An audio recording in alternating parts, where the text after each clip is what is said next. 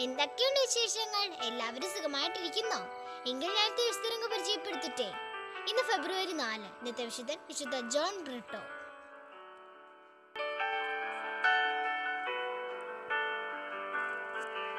പോർച്ചുഗലിൽ ജനിച്ച ജോൺ ഈശോ സഫ വൈദികനായി മിഷൻ പ്രവർത്തനങ്ങൾക്കായി ഇന്ത്യയിലെത്തി.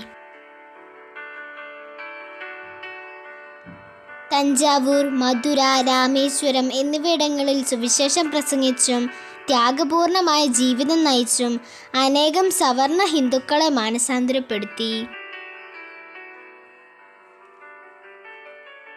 മിഷൻ പ്രവർത്തനങ്ങളിൽ രോഷാകുലനായ രാജാവ് അദ്ദേഹത്തെ നാടുകടത്തി. പിന്നീട് വേദനാജനകമായ ജയിൽ വാസനത്തിനിടയ്ക്ക് അദ്ദേഹം ശിരച്ഛേദനം ചെയ്യപ്പെട്ടു. കൂട്ടുകാരെ നമുക്കൊരു തിരുവചനം പഠിക്കാം.